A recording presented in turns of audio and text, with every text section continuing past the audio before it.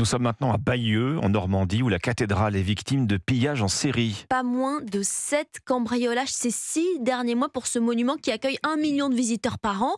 Et à chaque fois, les voleurs s'en prennent au tronc. Vous savez, les boîtes qui servent à récolter les dons des fidèles.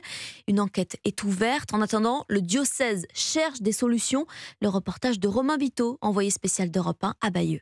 Des vols en pleine journée sous le nez des touristes et des fidèles. Alors, le père Bertou a pris des mesures. Vous avez rajouté cette chaîne à la suite des vols. Exactement. Ce tronc est rattaché par une chaîne à une grille de la chapelle. Le porte-parole de la cathédrale est encore sidéré. Le tronc suffisamment lourd était posé sur le sol. Nous n'imaginions pas que des gens puissent les emporter pour les ouvrir ailleurs. Cette belle expression, c'est le diable dans le bénitier. L'argent volé, une centaine d'euros d'après lui, permet de payer une salariée, les charges de l'édifice et son entretien pour l'accueil des fidèles. Des fidèles émus par ces pillages à répétition c'est voler à la fois euh, ce qui revient à Dieu et c'est aussi voler les fidèles qui donnent. C'est absolument euh, indigne. Enfin, je n'ai pas de mots pour qualifier ça. Il faut qu'on trouve une solution avec euh, les autorités pour que ce type de bâtiment soit conforme à sa destination de prière. La gendarmerie intensifie les rondes aux alentours, mais le père Pétol, recteur de la cathédrale, craint que cela ne suffise pas. Si vraiment des vols revenaient, il faudrait qu'on réfléchisse à ne pas laisser la cathédrale ouverte jusqu'à 22h30 l'été. Pas question d'interdire l'accès à la cathédrale pour autant, on ne ferme pas la de Dieu, affirme-t-il.